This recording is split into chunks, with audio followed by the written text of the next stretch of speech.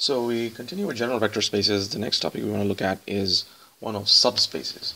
So a subspace, uh, basically, which we usually, uh, keeping in mind that the general vector space is V, then we usually use the symbol W to represent a subspace. Okay, and we call W a vector space, a subset of a vector space V, and it's called. So as you understand, in in in set theory, just like what a subset is, which is a smaller set within a large set. In a similar way, a subspace is a smaller space within a larger within a large space. So we say that, um, for instance, the subset W uh, of a vector space V is called a subspace of V if W itself is a vector space under the addition and scalar multiplication defined on V. Okay, so the so it has the same operations of addition. Okay, so the addition, it's defined under addition and scalar multiplication. Same rules, same operations. And under these, uh, it itself um, is a valid vector space. Okay, so um, the so if W is in fact a um, a vector, um, a subspace, so if W is a subspace of V. Okay. Now, of course, in this we assume that V itself is a is a valid vector space, so it satisfies the 10 axioms. Now, if W is a subspace of V, then W inherits a lot of the lot of the axioms from V itself. The only two axioms that we actually require um, for something to be a valid vector space are the closure the closure axioms. So the closure under addition, um, as you know, closure under addition, it means that if U and V belong to W, not V now, they already belong to, they automatically belong to V, v if they belong to W, because W is in V. So if U and V belong to W, then U plus V also belongs to W. So that's the closure under addition. And the second one is closure under scalar multiplication. So this you will know these are these are not automatically inherited as I will show you with some examples. So for instance if we have uh, U belongs to V uh, W sorry then KU okay. Also belongs to W. Okay so uh, this is this is the closure. So it's not different. It's the same thing. The only thing is now we're looking at we're before we were closed under V now we're looking at closure um, under W itself. So let's look at some examples and things will become a bit more clear once we do that.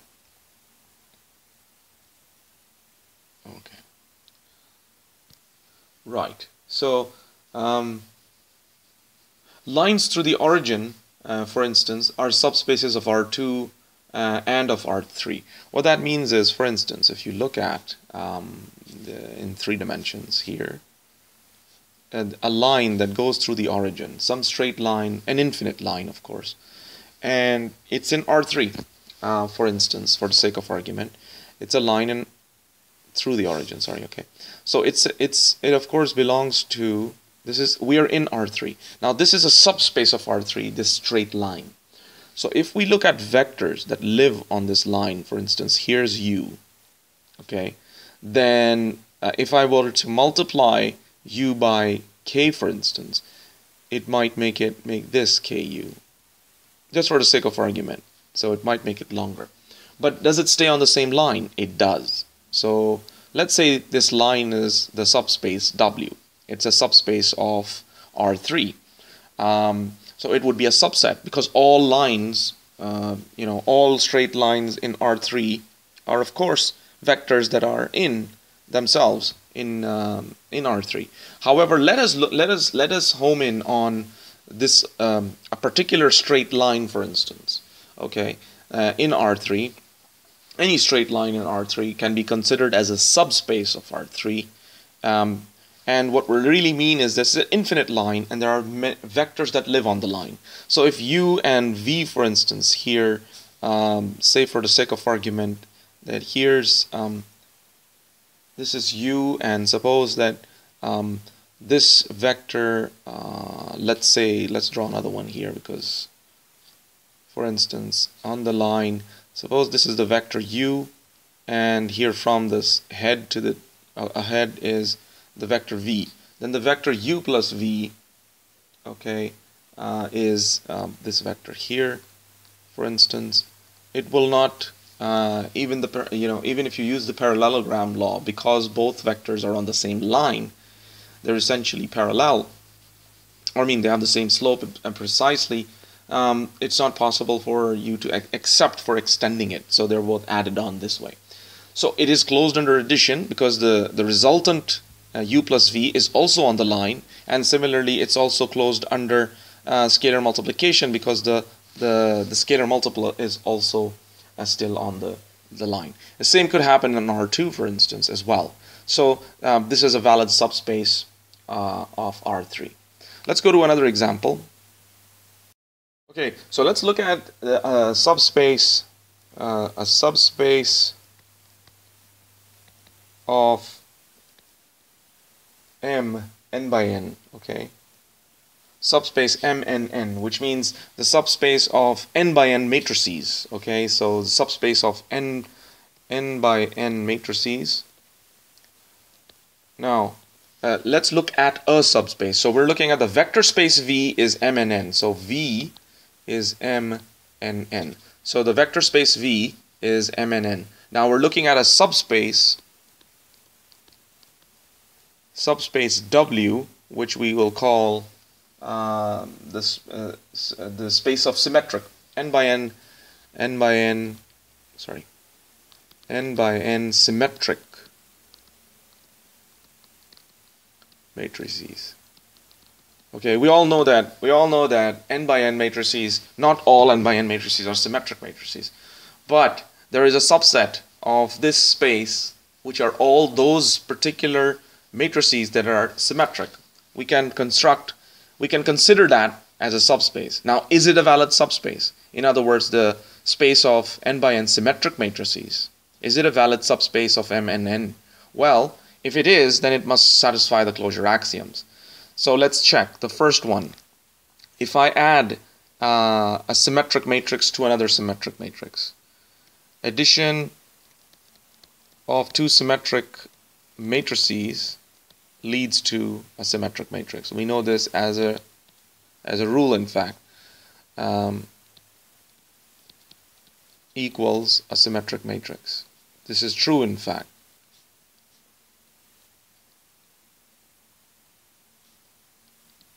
Okay, so it's closed under addition. So if I were to add two symmetric matrices, I would get another symmetric matrix. Ma matrix. matrix uh, if I were to multiply a symmetric matrix by a scalar, uh, then it's, um, of course, uh, k times a, a, symmetric matrix okay results in a symmetric matrix k times a symmetric matrix equals a symmetric matrix of course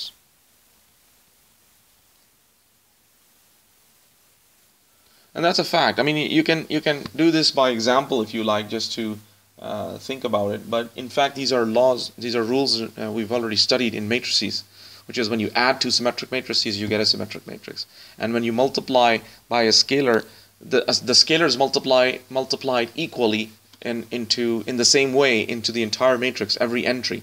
So therefore, it cannot disturb the symmetric structure of a matrix. So therefore, this is a valid subspace uh, of MNN. Okay, let's look at another example. Let's uh, consider the subspace. Um, let's consider the subspace uh, of R2. Okay, um, the set of all points uh, xy, set of all points xy in R2. Okay, in R2 for which x is greater than or equal to 0 and y is greater than or equal to 0. So this means we're talking about the first quadrant. Okay, so We're talking about the first quadrant.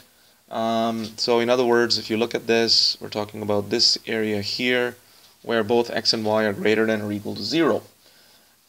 Now, is this a valid subspace of R2? Well, let's consider um, let's consider the following. If um, let's check the closure under addition. Well, if we add two vectors um, that are both positive, we get a positive vector. So no issues there. It seems to be closed under addition.